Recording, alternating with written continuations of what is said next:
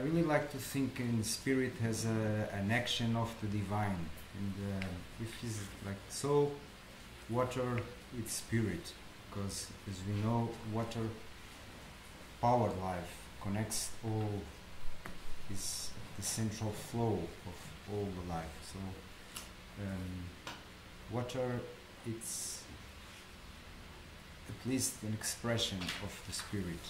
And uh, me, as I didn't choose to be a farmer, it was a, a consequence of life. But since then, I am trying to understand what is being a farmer, what should be being a farmer. And uh, one thing that I realize is that we are all farmers because we eat three, four times a day, and the food is coming from ecosystems, from nature. And farming is mainly the way we relate with ecosystems, with nature, with water. So, um, thinking that uh, this relation between humanity and ecosystems, if it's not our biggest cha challenge, it's one of the biggest ones because we didn't find out, in my way of view, a minimum, minimally digni dignifying relation with nature in all senses. So we we should really think about this. We should really work about this, and we should really try to uh, find, experience new ways to reconnect people with the natural scenario. It's a very strong idea for me. How to do it, how to deal with food as a the principal connection between humans and water and ecosystems. I am Portuguese and uh, uh, I'm very uh, strongly inspired by a old tradition in Portugal that it's coming probably from our native roots or from Egypt, for instance, that says that uh, someday we will create a new empire. That's the opposite of the empires. There's no empire.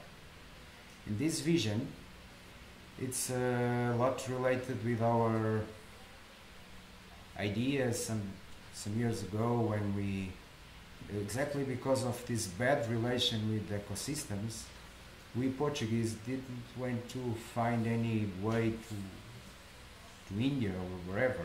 We really, we, we just uh, were um, living the misery that we created because of this bad relation with nature. We eat this country and we had nothing to, to eat. So we picked the boats and we tried to find something else.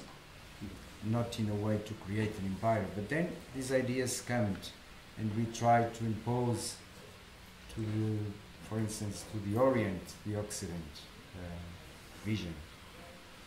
And uh, in this tradition, it's always saying that we have that was a wrong idea and we have to be part at least of the opposite story.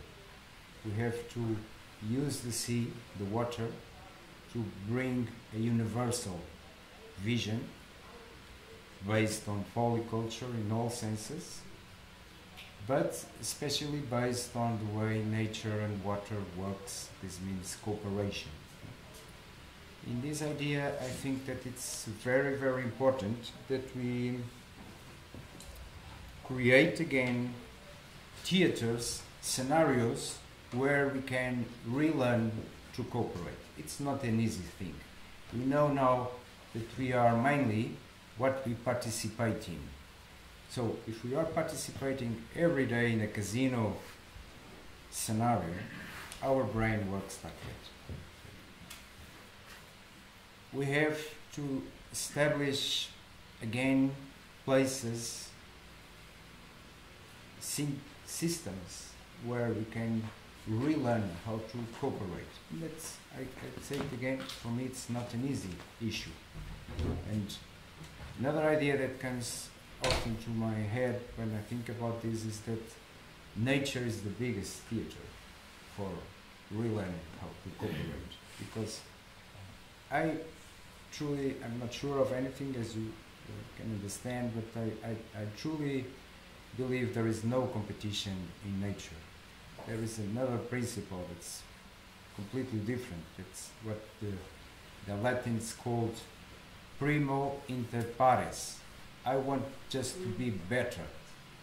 I want to be better. I want to grow. I want to be a better plant. I want to be a better person. I want to be better in my function in the big macro organism.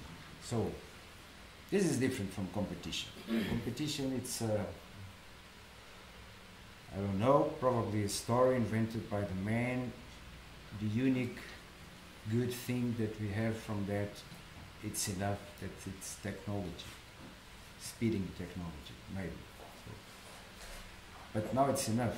We have enough technology, so we have to push competition and these ideas of egoistic gene is we know that's not it's not correct.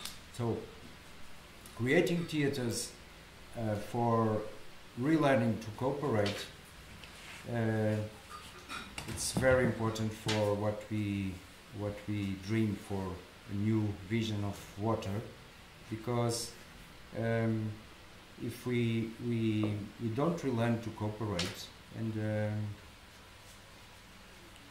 it's, it's not possible. And of course this idea of uh, a new no empire um, it's, it's, I have to tell you that it's, uh, uh, for me, the, there are uh, the type of uh, celebration still in Portugal. It's called the celebration of uh, the Holy Spirit. You can see it in different places of the world, but especially where the Azorean people uh, were, but also in Azores. It's a, a premeditation, and I invite you to, to, to see a little bit more about the, the symbols of this, this celebration. For instance, in this celebration, one important thing is that we put a crown in a woman, in a child. This means in the central of the power. This means that in that period we'll be again specialists on creativity. The word child in Latin comes from creation, creativity, co-creators.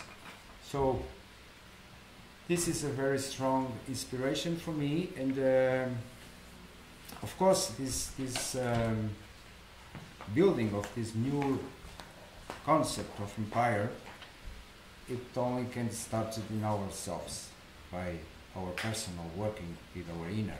So, and there's probably also an issue of cooperation between our different parts, our body, our soul, our spirit, because I really forced also to understand that we have, all of us have a light inside of us from the divine. And we have to know how to, to power this light and to allow us to, to do one thing that for me it's very easy to, to, to feel when I look at water, that it's the idea of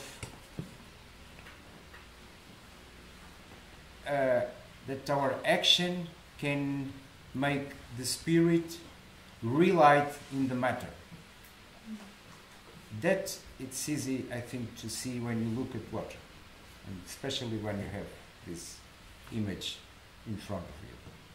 So, in terms of um, practical actions, because I think that we uh, also should mainly do things, uh, act, um, not only think.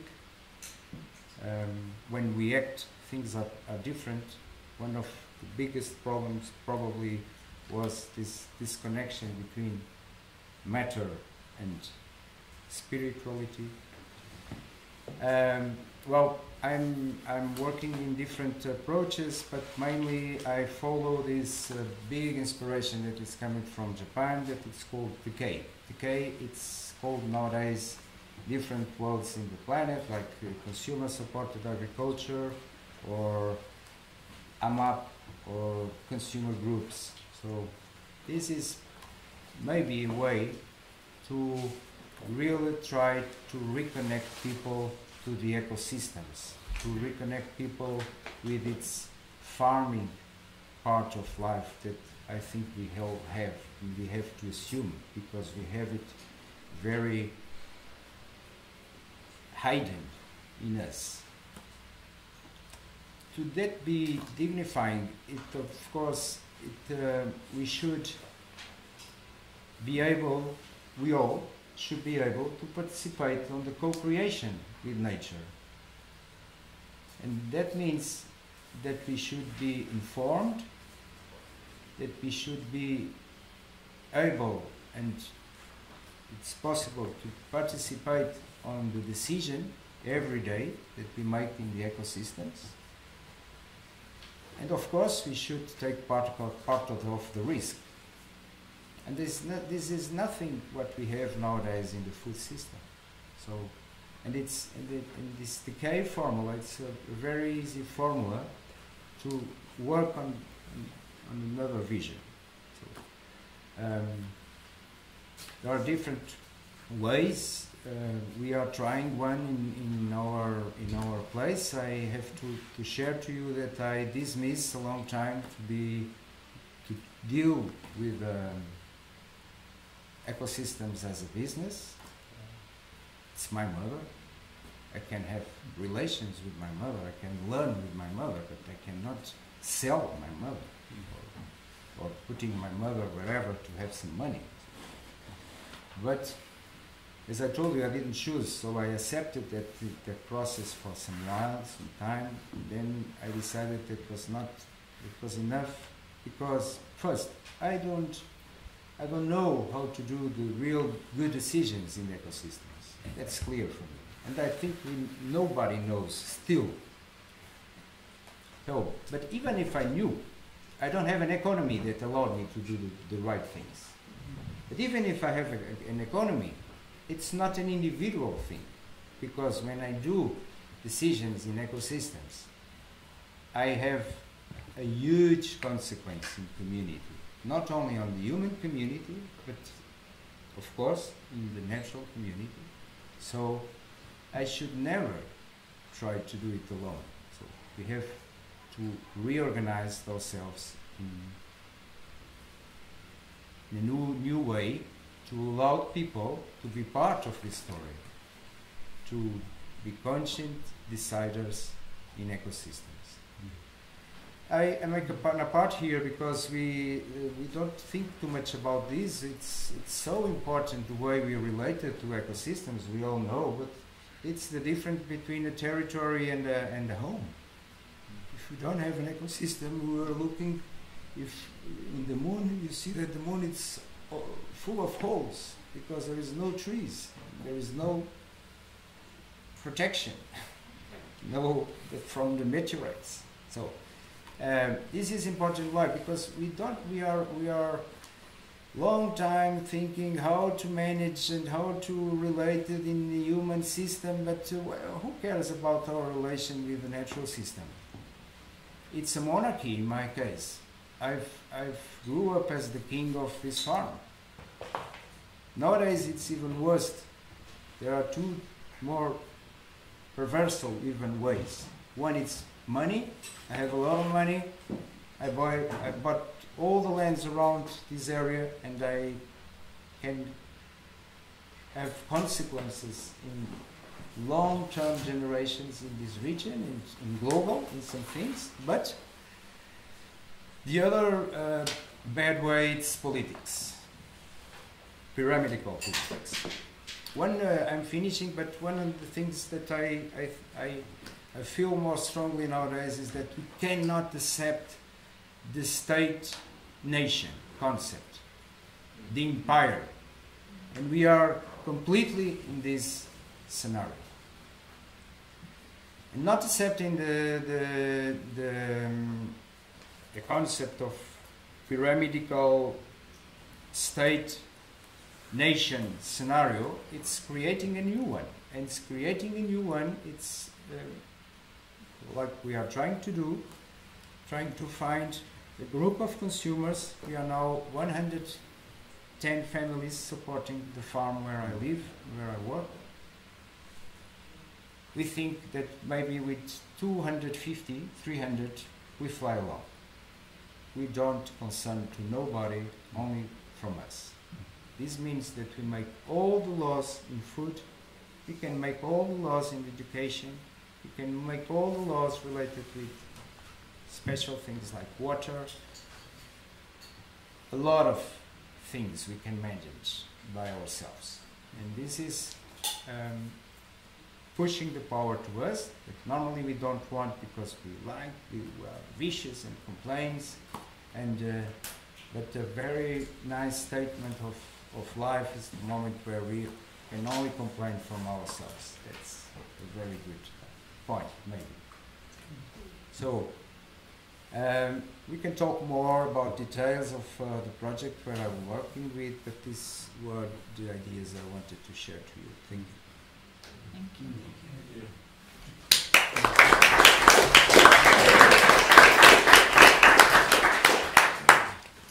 Thank you, Alfredo.